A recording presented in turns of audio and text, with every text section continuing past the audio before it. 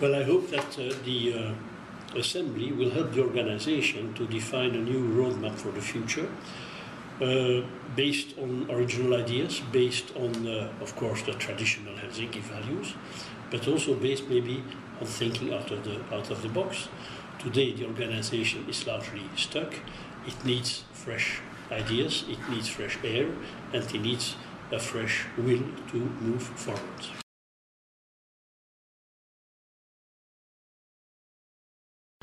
Well, the Assembly is not tied by diplomatic uh, constraints, by diplomatic uh, history, by diplomatic considerations. An assembly of parliamentarians can think very freely about everything. And I think this is the great value added of an exercise such as the one the Assembly is going to carry forward.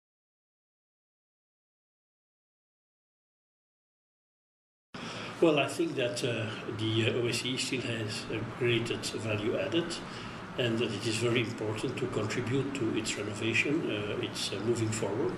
And uh, I think that with my long political experience, I can maybe contribute something in the right direction.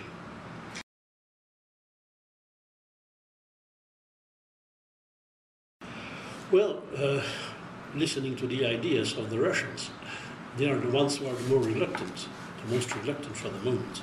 So it will be very interesting to see what proposals the Russians make to move forward.